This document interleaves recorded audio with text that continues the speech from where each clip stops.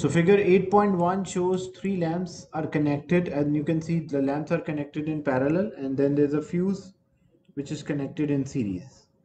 A fuse allow like the fuse is having its own rating there's a maximum number or amount of current which can allow and then if the current is too high then the fuse will melt.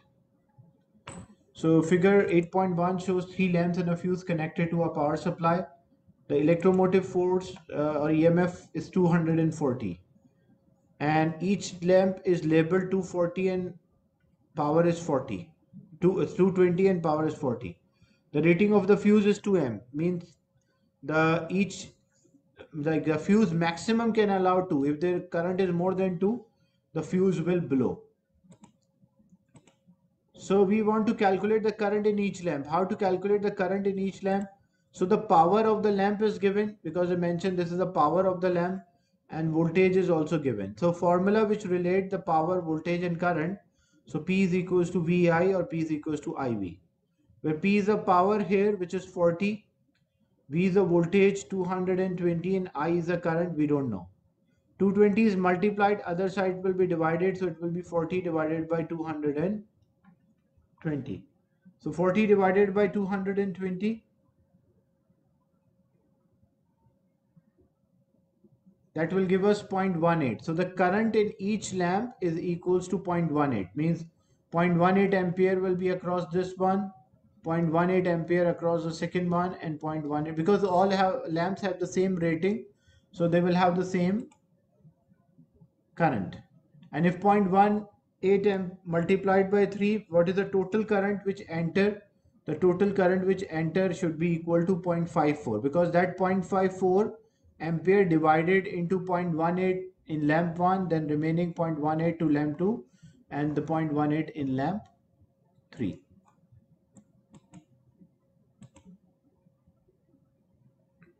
so the current in the fuse how to work out the current in fuse? As we did like we got the current in each lamp which was 0.18 and the total current because the current in the fuse is the total current which is a sum of the current in each lamp as they are in parallel or we can also multiply by the number of the, the current in each lamp multiplied by the total number of the lamps we can find the current in the fuse. Then the total number of the lamps which can be connected in parallel without blowing the fuse like the how many lamps can be connected in parallel so that the fuse will not blow So how we know how many lamps we can connect in parallel? We know current in each lamp is 0.18. If we connect another lamp, then another lamp. So current, how many lamps should be connected with? So maximum current which the fuse can allow is 2. And the maximum current in each lamp is 0.18. So how to get the number of the lamps? If one lamp is 0.18 and maximum 2, can, 2 ampere can pass, so it will be 2 divided by 0 0.18. So 2 divided by 0.18, this will give us 11.11. So 11.11 lamps can be connected, but 0.11 lamp does not make different like effect. So this means how many lamps can be connected before the fuse will blow? We can connect 11 lamps because when we connect 11 lamp, each lamp is having a current of 0.18 so 11 lamps multiplied by 0.18 that is 1.98. So 1.98 will not blow the fuse because fuse maximum can allow 2 ampere. But if we connect the 12th lamp, so 12 multiplied by 0.18 that is 2.16 so that current will be higher than 2 or the fuse will blow. So the total current divided by the current in each lamp we can identify the number of the lamps which can be connected to a circuit. Is it clear uh, this question?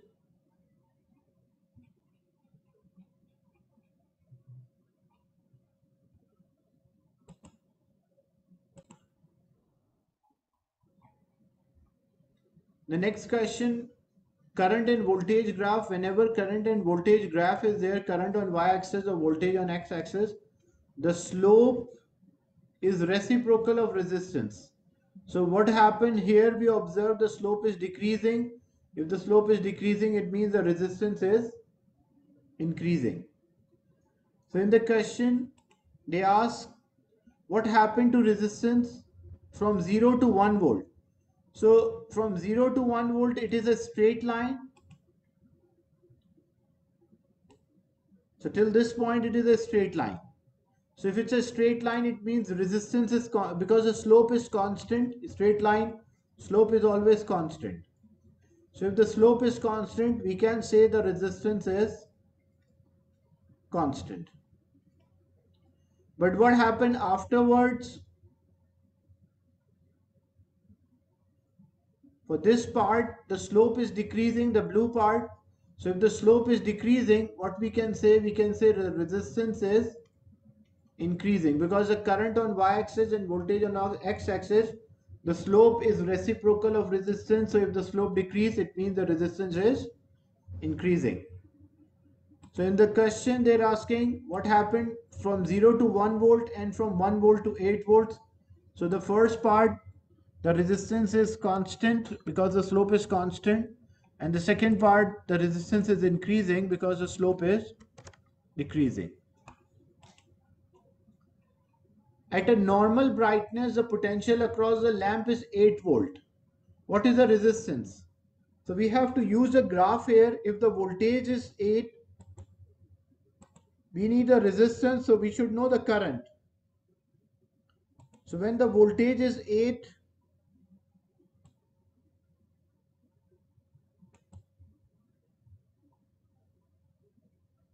we will find the current and because from 0 uh, like 10 boxes equals to 0 0.2 so it means each box is 0 0.02 so this is 6 point, 0 0.62 0 0.64, 0 0.66, 68, 72 and 74. So this will be 0 0.74 ampere.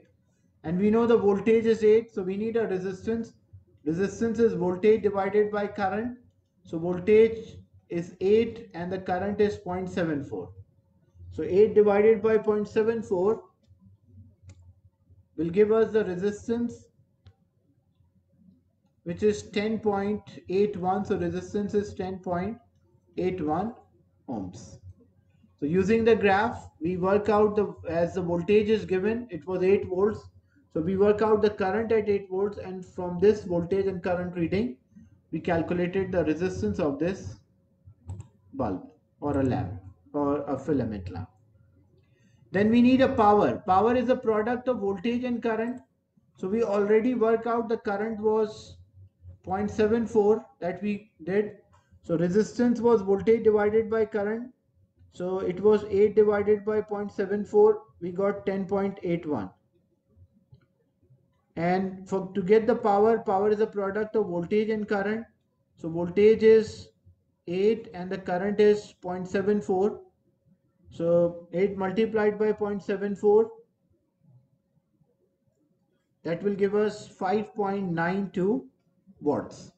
So unit of the power is watt, that's why it's 5.92 watt here, where resistance is ohm, which is a ratio between voltage and current.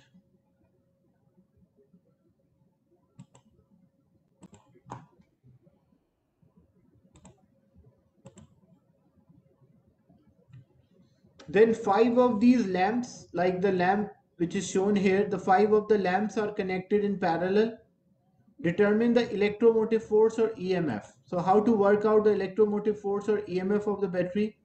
Each each lamp is 8 volts like and we know when lamps are connected in parallel they will all have the same volts.